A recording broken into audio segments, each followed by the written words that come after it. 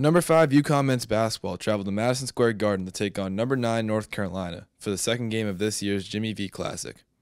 In their second straight game against a fellow top 10 team, the Huskies were hungry to get back in the win column.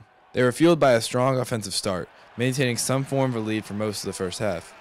Using a combination of persistent offensive rebounding and relentless hustle, they were able to create many opportunities to score points early and often.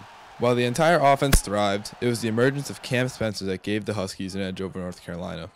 Spencer's dynamic style of play, ability to score from anywhere on the court, and all-around determination are invaluable parts of this Huskies team. I definitely came in with a lot of motivation and, and anger to just help the team in any way that I could.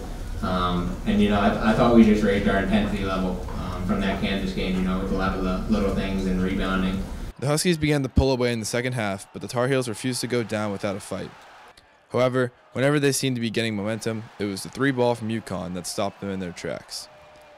Whether it was Spencer, Solo Ball, or Alex Karaban, UConn's clutch shooting from beyond the arc was crucial to their success. Just to put that type of impressive performance, it just speaks to uh, speaks to these two guys and speaks to uh, obviously the group that we have this year. The Tar Heels fought until there were zeros on the clock, doing everything they could to come back. Although it wouldn't be enough to come out on top, as UConn secured a very important win by a final score of 87 to 76. The Huskies will head back to Storrs for their next game, taking on Arkansas Pine Bluff on Saturday, December 10th.